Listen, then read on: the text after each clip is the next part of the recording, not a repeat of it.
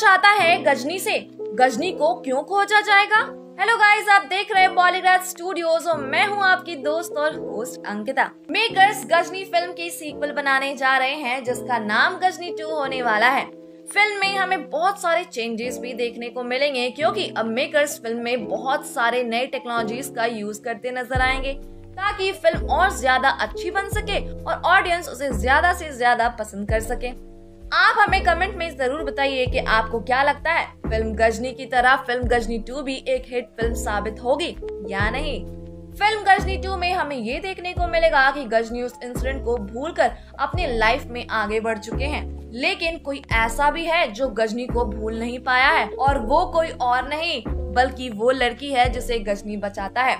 Film Ghazni to में हमें ये देखने को मिलेगा कि सुनीता यानी जिया खान की शादी एक पुलिस ऑफिसर से हुई है, जो कि अपने काम को लेकर कोई बेमानी नहीं करता है, जिसके कारण उसे बहुत सारी प्रॉब्लम्स का सामना करना पड़ता था, लेकिन फिर भी वो कभी भी हार नहीं मानता था, जिसके कारण एक दिन गुंडे उसके घर आते हैं और आकर उसे उसके घर से उठा लेते हैं और साथ ही सुनीता को धमकी भी देते हैं जिसे सुनने के बाद सुनीता पुलिस के पास जाती है, लेकिन वहाँ उसे कोई मदद नहीं मिलती है, जिसके बाद वो सीधे गजनी के पास जाती है, जिसके बाद वो उसे उन गुंडों के बारे में बताता है। गजनी एक बार फिर से अपने उस रोल में नज़र आने वाला था, जिसे उसने कई साल पहले अपने अंदर ही दबा लिया था। इसके बाद वो उन सब के बारे में पता लगाता है और उसे पता चलता है कि उन लोगों ने सुनीता के हस्बैंड को अपने फार्म हाउस पर रखा है। जिसके बाद वो वहाँ जाता है तो उसे पता चलता है कि जिस इंसान ने सुनीता के हस्बैंड को किडनैप किया है, वो इंसान जो आमिर के बॉडीगार्ड का काम किया करता था।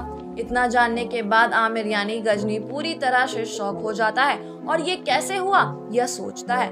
जिसके बाद वो यानी गजनी सुनीता के हस्बैंड को बचाकर वापस लाते हैं और जब यह बात सलीम यानी आमिर के बॉडीगार्ड को पता चलती है तो वो पूरी तरह से बौखला जाता है। उसे समझ नहीं आता है कि वो क्या करे। गजनी सुनीता के हस्बैंड को उसके पास पहुँचा देता है और साथ ही उन्हें सुझाव देता है कि कुछ दिन मेरे घर में रहो। वो दोनों इस बात को मान लेते हैं और उसके साथ रहने लगते हैं। वहीं गजनी के बॉडीगार्ड को यह भी पता चल जाती है कि गजनी ज़िंदा है और उसने ही उन्हें सहारा दिया है तो वो गजनी से मिलने उसके घर आता है। और गजनी को धमकी देने का ट्राई करता है, लेकिन जैसे उसने सोचा था, यह बिल्कुल उसका उल्टा हुआ, जिसके बाद वो बौखलाता हुआ वहाँ से चल दिया। वो गजनी के घर से तो चला गया था, लेकिन बदला लेने के भावना नहीं गई थी। फ़िल्म की स्टार्टिंग तो ऐसी होगी, लेकिन फ़िल्म की क्लाइमेक्स में हमें इस बार पहले से ज़्यादा एक्शन देखने को मिलेगा।